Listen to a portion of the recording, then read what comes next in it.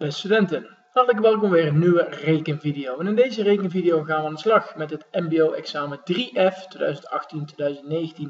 Dit is deel 1. Het examen bestaat uit 45 vragen en je hebt hier voor 120 minuten de tijd. En het bestaat eigenlijk uit een gedeelte zonder en een gedeelte met rekenmachine.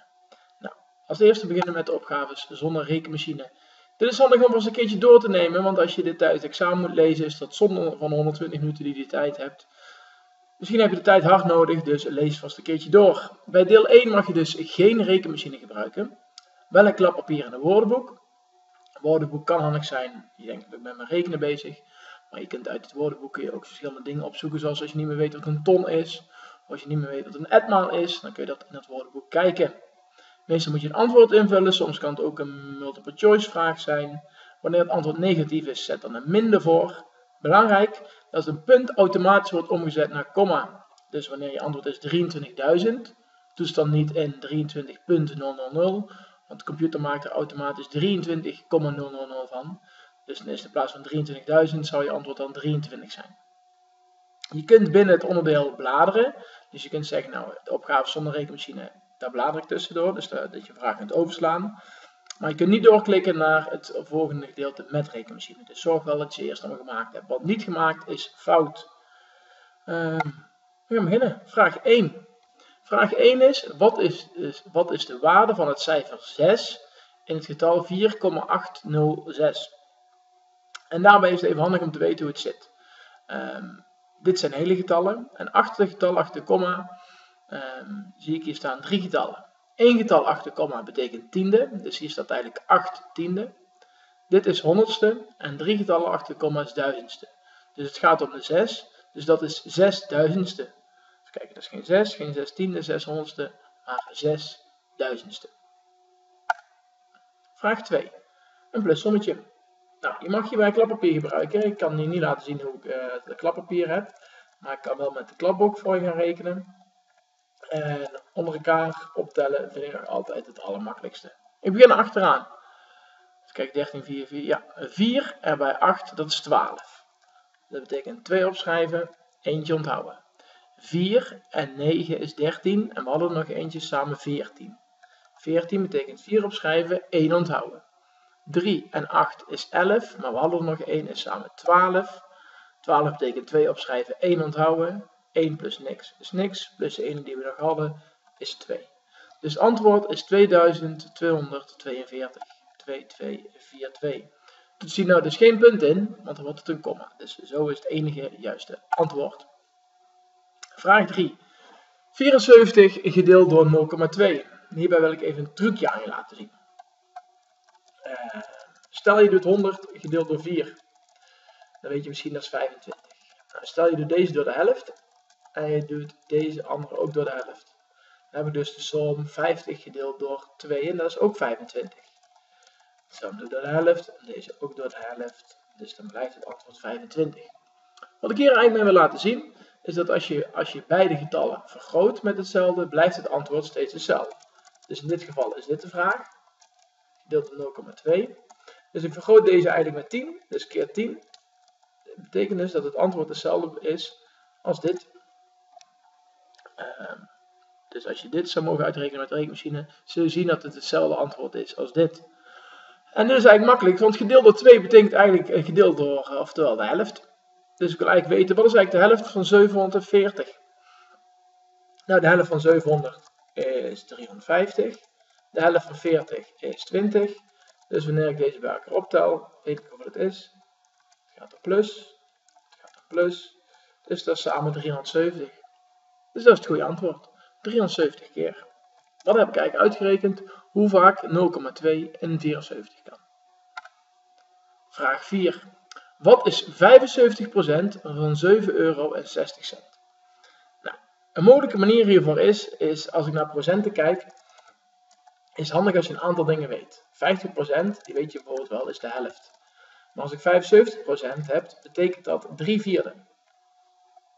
25% is 1 vierde, oftewel een kwart. Die hebben we nou drie keer, dus dit is eigenlijk 3 vierde. Dus eigenlijk wat ik hier zie staan, wat is 3 vierde van 7,60 euro?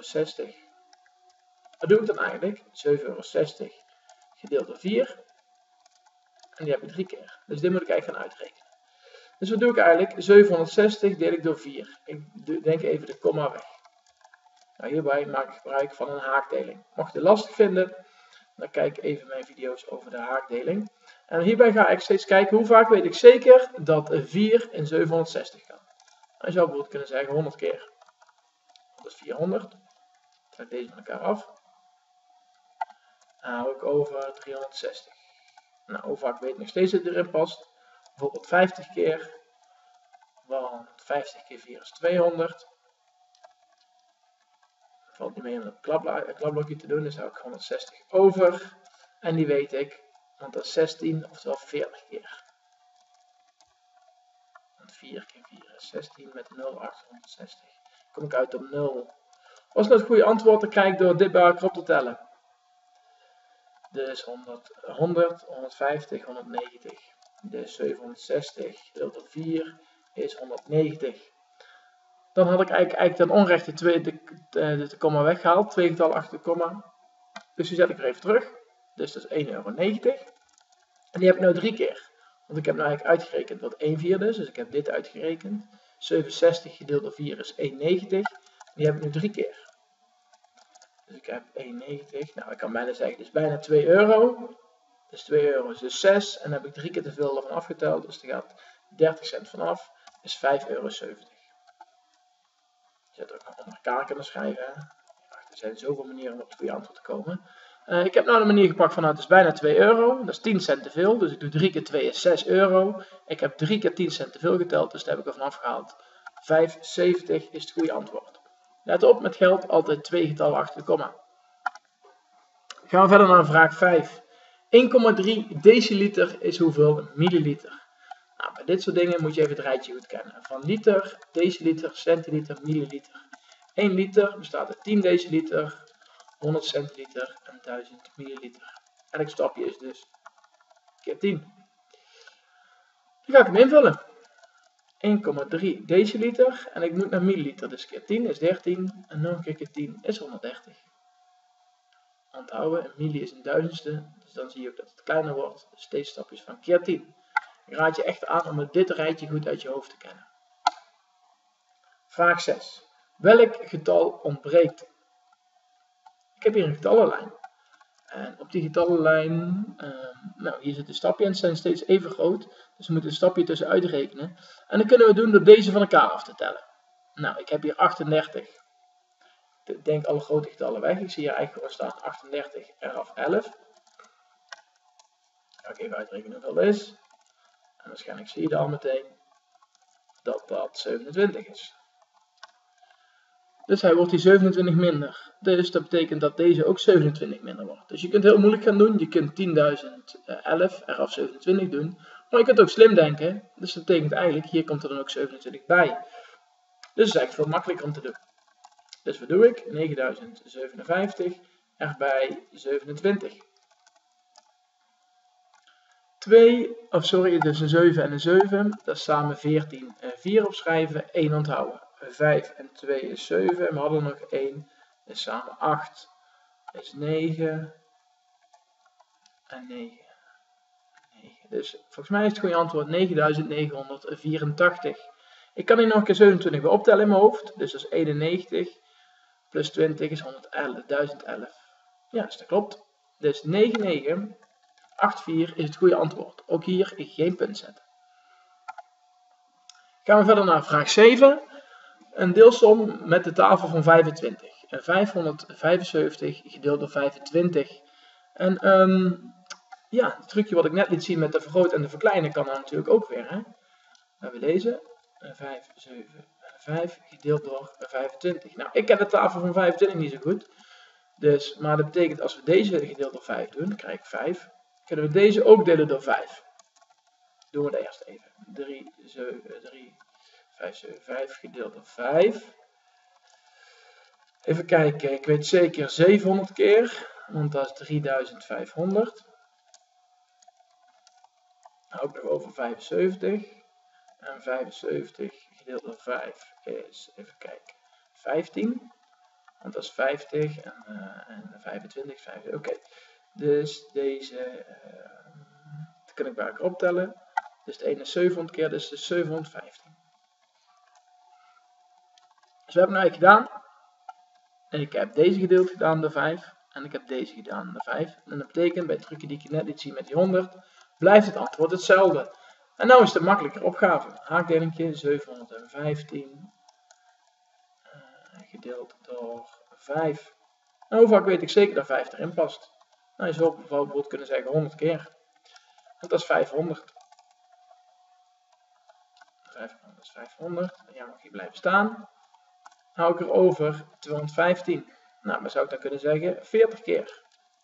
Want 40 keer 5 is 200.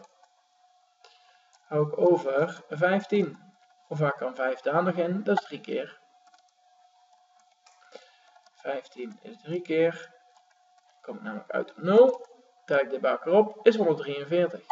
Dus dit antwoord en dus 143. Dus dat betekent, is dit ook 143. Goed, gaan we naar de laatste vraag van het eerste gedeelte. En dit is een sommetje met plus. Iets plus 6,7 is 102,1.